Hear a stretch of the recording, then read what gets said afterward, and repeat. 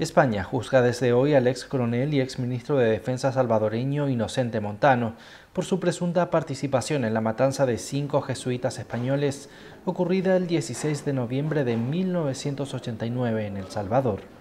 Más de 30 años después, el ex coronel será el primer militar salvadoreño que responderá ante la justicia española por el asesinato de estos cinco jesuitas, entre ellos Ignacio Ellacuría, entonces rector de la Universidad Centroamericana e ideólogo de la teología de la liberación. En la matanza también perdieron la vida los jesuitas Ignacio Martín Baró, Segundo Montes Mozo, Amando López Quintana y Juan Ramón Moreno Pardo, además de los salvadoreños Joaquín López, Julia Elba y su hija Celina. Montano, en prisión preventiva desde 2017 tras ser extraditado desde Estados Unidos, se enfrenta a 150 años de cárcel por su presunta participación en la decisión, diseño o ejecución del crimen.